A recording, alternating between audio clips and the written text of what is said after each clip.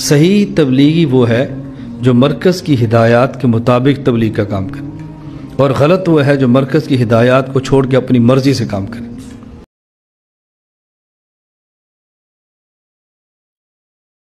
ہم سب آپس میں مل جل کر ایک فکر پر چلیں اور پیچھے ہٹنے والوں کو ساتھ لو۔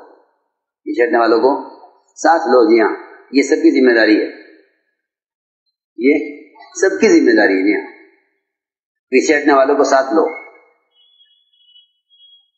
پیچھے ہٹنے والوں کو ساتھ لو۔ کیونکہ مستغنی اللہ کی ذات ہے، اسے کسی کی ضرورت نہیں ہے۔ ہمیں سب کی ضرورت ہے۔ محتاج کو سب کی ضرورت ہے۔ مستغنی کو کسی کی ضرورت نہیں جی ہاں اللہ مستغنی ہے، ان کو ضرورت نہیں ہے۔ ہم ہم محتاج ہیں جی ہاں ہمیں سب کی ضرورت ہے۔ ہمیں سب کی ضرورت ہے۔ کیونکہ جو کام کرنے والوں سے مستغنی ہو جاتا ہے، کہ وہ مدد سے خالی ہو جاتا ہے۔ مدد سے خالی ہو جی ہاں۔ جی ہاں کہ کام کرنے والے سے مستغنی ہو گئے، مدد سے خالی ہو جاؤ۔ یعنی ہم محتاج ہیں، اللہ مستغنی ہے۔ لیکن یہ بات یاد رکھو کہ جس طرح اللہ مستغنی ہے، یہ اس کا کام بھی مستغنی ہے، اسے کسی کی ضرورت نہیں ہے۔ یہ تو یقینی بات ہے۔ کہ جو آدمی سوچ لے گا کام میرے بغیر نہیں ہوگا، اللہ اس کو باہر کر کے اس سے بغیر کر کے دکھلائیں گے۔ جی ہاں یہ تو یقینی بات ہے۔ یہ میں یہ میں اس پر نہیں کہہ رہا، میں کہہ رہا ہوں کہ اللہ نے صحابہ سے کہہ دیا یہ۔ ان سے، صحابہ سے جی ہاں جن کے بارے میں آپ نے فرمایا تھا کہ اللہ اگر یہ جماعت ہلاک ہو گئی، تو یہ بات نہیں کی جا رہی، یہ تو آپ کی دعا ہے۔ جی ہاں۔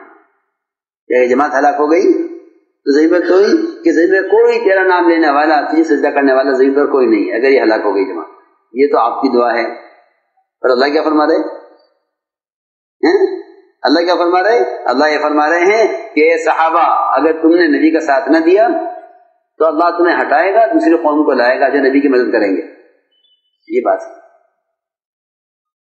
اس لیے میری آپ سے ایک درخواست ہے کہ جڑ کر چلو۔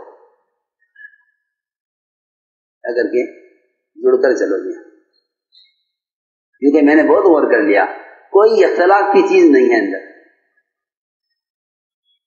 کوئی اختلاف کی چیز نہیں ہے۔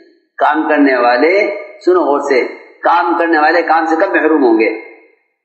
کہ وہ محروم جب ہوں گے، جب اپنی سطح سے اونچی چیزوں میں اختلاف میں پڑیں گے، کہ نہیں، یہ تمہاری سطح نہیں ہے۔ یہ تمہاری یہ تمہاری اخلاق کی سطح نہیں ہے۔ گشت کرو، تعلیم کرو، مشورے کرو، ملاقاتیں کرو۔ یہ کرو کام۔ حضرت کی حضرت مثال دیتے تھے قرآن میں محسوس کرے۔ مثال دیتے تھے ایک عجیب۔ فرماتے تھے کہ اپنی سوچ، اپنی سطح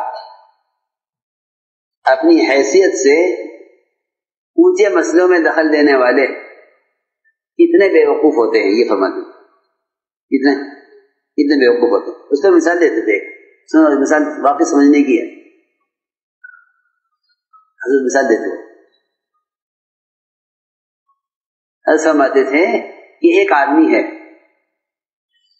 اس کی حیثیت یہ ہے کہ اس کے پاس خبریں سننے کے لیے ریڈیو نہیں ہے۔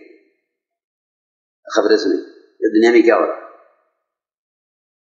پھر اس کی حیثیت اتنی اور نیچے ہے کہ وہ دو روپے کا اخبار خریدنے کی حیثیت نہیں رکھتا۔ اتنی بھی حیثیت نہیں ہے کہ اخبار خرید کے پڑھے کہ کیا ہو رہا دنیا میں۔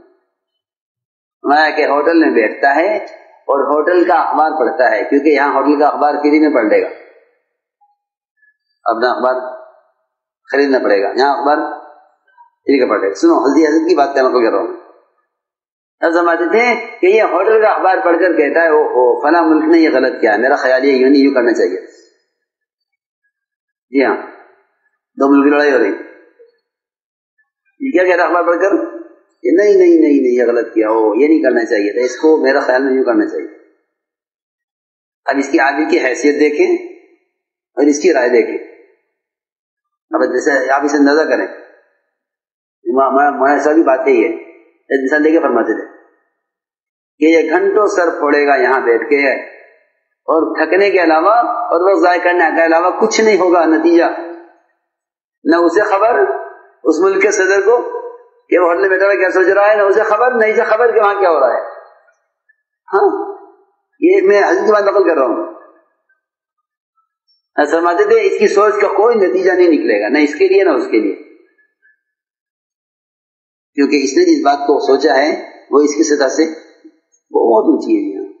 دو ملکوں کا جھگڑا چل رہا ہے۔ جی ہاں وہ ساری فوجیں ان کے سامنے، سارا میدان ان کے سامنے، سارا ملک کا نقشہ ان کے سامنے۔ جی ہاں۔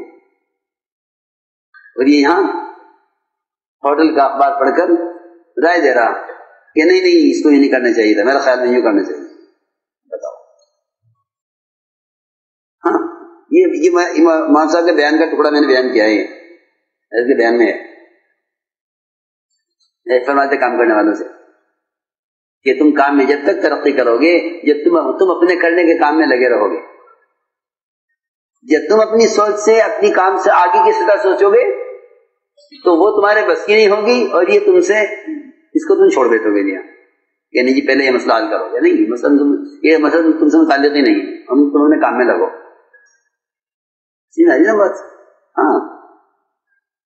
اور نہ لوگ اس میں وضاح کرتے ہیں۔ یہ کیوں ہے، یہ یوں کیوں ہے، یہ کیوں نہیں ہوا، یوں کیوں نہیں ہوا یہ کیوں نہیں ہوا؟ ارے چھوڑو۔ گشت ہوا نہیں ہوا، تعلیم ہوئی نہیں ہوئی، مشورہ ہوا نہیں ہوا، فلاں ملکی کی جماعت بنی، نہیں بنی، کیا ہوا؟ اسے سوچو نا۔ یہ ہے بات۔